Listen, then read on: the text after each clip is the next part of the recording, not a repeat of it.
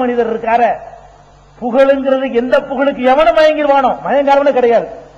மயங்கல் என்ன ஒண்ணு சேர்த்து கொஞ்சம் அடிச்சா விழுந்துருவான். காசு மாதிரி தான் லேசா புகழ்றிய உழுக மாட்டான். கொஞ்சம் அதை கொஞ்சம் ஜோ தோசை ஏத்தனா விழுந்துருவான். அதுக்கு தகுந்த மாதிரி அந்த காலத்துல இந்த புலவர்கள் இருக்கானுங்கள. இவனு புலவன்லாம் எப்படி சம்பாதிச்சாங்கறிய துளிலே இதானுங்க புகழ்றதானுங்க. மன்னர்கள் வந்து அரசவையில வச்சிருப்பாங்க. என்ன? என்னை புகழ்ந்து படிக்கணும். இவனே சொல்றது. என்னை புகழ்ந்து படுறான். அவன் படிப்பான். அவனுக்கு ஒரு பொற்கிளியை தூக்கி கொடு. யார் விட்டு காசை? மக்கள் காசு வரிப்பணம் பொற்கிளினா என்ன? அப்படி காசு ப- பணமுடிப்பு. நம்ம பாசையில் சொன்னா ப- பணமுடிப்பு. அவன் அந்த பாட்டு படிச்சு விட்டான். பணமுடிப்பை தூக்கி கொடு. இன்னொருத்தன் எந்திரிப்பான். சேந்தரே நானும் பாட்டு பாடுகிறேன். பாடுறா. இவனுக்கு ரெண்டு பொருட்களையே கொடுங்கள்.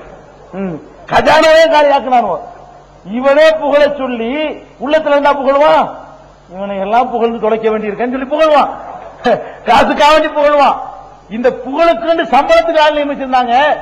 இது ஜனநாயக நாட்டிலே ஒரு கிறுக்கம் பண்ணி வச்சிருந்தான் எம்ஜிஆர். அரசவை கவிஞர் அவன் தான் பண்ணி வச்சிருந்தான்னு சொன்னா இவன் அரசவை கவிஞர் கண்ணாசனுக்கு ஒரு போஸ்டர் கொடுத்து அரசவை கவிஞர் நம்ம தர்பார் நடத்துற மாதிரி.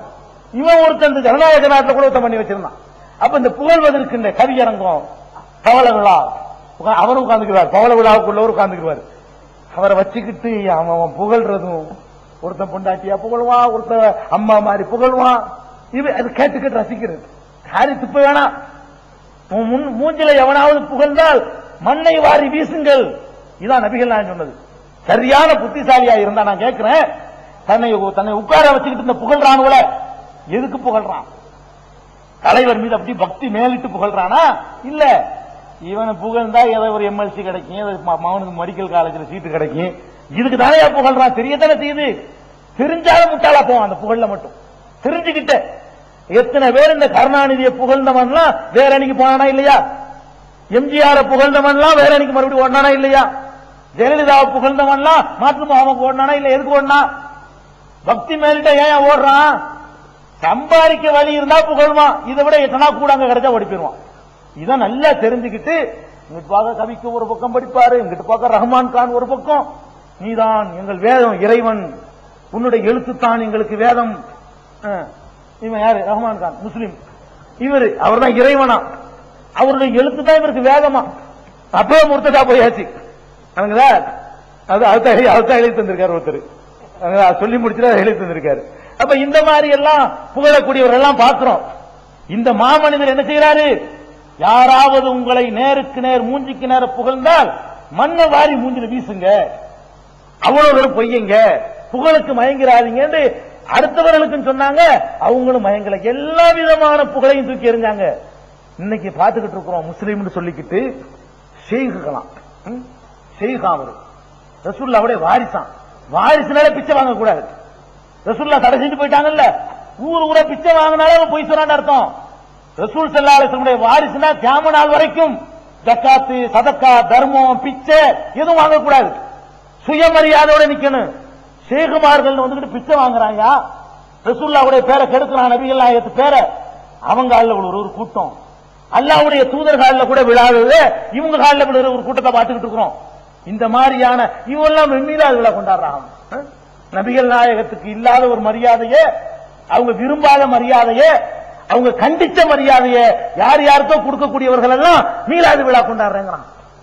என்ன வாழ்க்கையா? ஒரு சின்ன ஒரு மத குருண்டு இந்த ஆட்டம் போடுறான நம்மளுக்குள்ளே போடுறான. ஒரு பெரிய தாடி சிப்பான் வச்சுக்கிட்டு நாலு பேர் செய்குன்னு சொன்னவன அவன் போடுற ஆட்டத்தை பாருங்க. இந்த செய்குன்னு சொல்லிக்கிட்டு வர்றவன்லாம் கூட இப்படி வாழ முடியாதுங்க. நீச்சல் குளம் இருக்கிற வீட்டுலாம் தங்குறேங்கிறான். ஏழை குடிசையில போய் திண்ட ஒரு சீக காட்டுங்க என்கிட்ட. ஒரு செய்குன்னு சொல்லி யாரா உள்ளதுல ரொம்ப குடிச?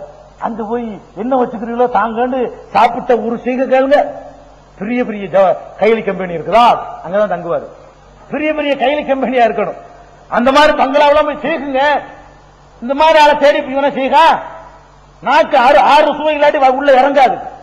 நமக்கு இருக்கக்கூடிய ஒரு ஆன்மீக கட்டுப்பாடு கூட அவனுக்கு கிடையாது. நம்மளாவது நப்ச கட்டுப்படுத்திக்கிட்டு இருந்தா திம்ம இல்லாட்டி பழைய சோ தின்ட்டு போயிருவோம் மிளகாய கடிச்சுக்கிட்டு சாப்பிட்டு ஓடி போயிருவோம் இவனுக்கு வந்து ஆறு சுவை இருக்கணும் பிரியாணி இருக்கணும் கறி இருக்கணும் நெய் இருக்கணும். அதுல நெய்யிலேயே ரோஜா மார்க்கு நெய்யை கொண்டாந்து ஊத்தினா தான் உள்ள இறங்கும். இப்படி எல்லாம் நப்ச கட்டுப்படுத்தாத ஒரு முறிது கொடுக்கறாங்களாம் செய்கா இவன் காலில் விழுவான நம்ம சுமந்திருக்கிற மலஜலத்தை விட நாட்டம் முடிச்சிருது எவ்வளவு டேஸ்டா திங்கிறோமோ அவ்வளவு நாட்டம் கூட. எவ்வளவு குவாலிட்டியா இருக்கோ அவ்வளவுக்கு நாட்டம் கூட. அவன் காலில் போய் விழுந்து கும்பிட்டு கழுவி குடிக்கிற அளவுக்கெல்லாம் இஸ்லாத்தின் பேரை கெடுத்துக்கிட்டு இருக்கிறான். இந்த மனிதருடைய வாழ்க்கையை பாருங்க. நீங்க எல்லாம் என்ன மில்லாத விழா என்ன மில்லா விழா கொண்டாடுறீங்க அந்த மனிதனுடைய வாழ்க்கையை கொஞ்சம் அலசி பாருங்க அதான் அல்லாவுடைய தூதரிடத்து அழகான முன்மாதிரிங்கிற அல்லா சும்மா கேட்டு ரசிக்கிறக்கா இதெல்லாம் லக்கது காணலக்கும் பி ரசூல் இல்லாஹி உசுவத்துன் ஹசனா அல்லாவுடைய தூதரிடத்திலே உங்களுக்கு அழகான முன்மாதிரி இருக்குங்கிறான இதுல முன்மாதிரி இல்லையா? எல்லாத்திலையும் முன்மாதிரி. அதே மாதிரி பாருங்க கருணாநிதி வருவார் ஒரு ஊருக்கு. கருணாநிதி கருணாநிதி கருணாநிதி மட்டும் இல்ல ஒரு உதாரணத்துக்கு அவர் தான் இருக்காரு அதனால சொல்றேன். யாரை வேணாலும் வச்சுக்கிறீங்களா அண்ணா துறை வேணாலும் வச்சுக்கிறீங்க எந்த தலைவனும் அந்த இடத்துல போட்டுக்கிறங்க ஒரு ஆளை உதாரணத்துக்கு சொன்னா அவரையே மையமா வச்சுக்கிறேன்னு நினைச்சுக்க கூடாது. ஜெயலலிதா வச்சுக்கிறீங்களா ஜெயலலிதா அவர் தஞ்சாவூருக்கு போவார். போன அன்னைக்கு பார்த்து மழை பெய்யும். என்ன சொல்லுவான் தெரியுமா? புண்ணியவதி கால் வச்சவன பாடுறான் புண்ணியவதி கால் வச்சவன புண்ணியவதியா? யார் சினிமாவில் டான்ஸ் ஆடிக்கிட்டு இருந்தாலும் புண்ணியவதி. புண்ணியவதி கால் வச்சவன பாடுறான் கொட்டோ கொட்டுன அருள் மழை பொழியுது. கருணாநிதி திருச்சிக்கு போவார். சரியான கோடை நூத்தி எட்டுல இருந்திருக்கும் டிகிரி அன்னைக்கு பார்த்து மழை பெய்யுமே. உடனே என்ன செய்வாங்க வரலாம் பார்த்தீர்களா நம்ம தலைவர் வந்த உடனே இப்படித்தானே ஏமாத்துறான்? என்னமாவது சர்ச்சையா நடந்தா போதும். முதல் வெள்ளம் வந்து ஐநூறு பேர் சாவும் அப்ப சொல்லுங்க நீ பாப்போம். அப்ப சொல்லி இருக்கிறியா நூத்தி எட்டு டிகிரியில ரெண்டாயிரம் பேர் வாஜ்பாய் வந்து செத்து போயிருக்கான் இது வரைக்கும் இல்லாத வரலாறுல இந்த வெயில கொடுமையில ரெண்டாயிரம் பேர் செத்தது வாஜ்பாய் ஆட்சியில தான். இந்த வெயில கொடுமையில இந்த நூறு நாள் ஆட்சி வர்றதுக்கு இல்ல இந்த வெயில் இந்த வரைக்கும் இந்தியாவில் வீசினது இல்லை. இந்திய வரலாற்றிலேயே அப்படி ஒரு வெயில் ஒரிசாவுல இருந்து அங்க எங்க டோட்டலா எடுத்தா ரெண்டாயிரம் பேர் அரசாங்க கணக்குப்படி காலி. எத்தனை மறைச்சானு தெரியல. இவரு வாஜ்பாய் சொல்லுவானா இவன் என்னென்ன ஏதாச்சும் ஒண்ணு ஆயிரத்துல நடக்கும். நான் போனாலும் ஒரு பிச்சைக்காரன் கூட அந்த திருச்சி அன்னைக்கு போயிருப்பான். கருணாநிதி போன அன்னைக்கு ஒரு பிச்சைக்காரன் போயிருப்பான்ல. அவனால பெஞ்சு சொல்ல முடியுமா? இதெல்லாம் அல்லாவுடைய ரகமத்தை அல்லாஹ் நாடும் போது நடக்கும்.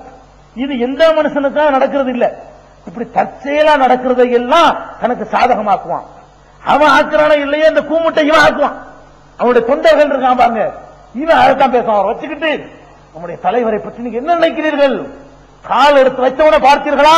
அப்படிமா. அப்ப நஷ்டத்துக்கும் பேசணும்ல அது மாதிரி.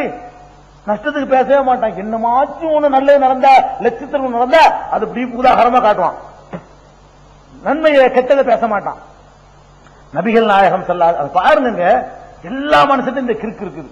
இந்த வியாதி இருக்குது. அந்த மனிதர் வாழ்க்கையை பாருங்க. நபிகள் நாயகம் செல்லாலிசத்துக்கு அல்லாஹ் ஒரு ஆம்பளை பிள்ளைய கொடுத்தான்.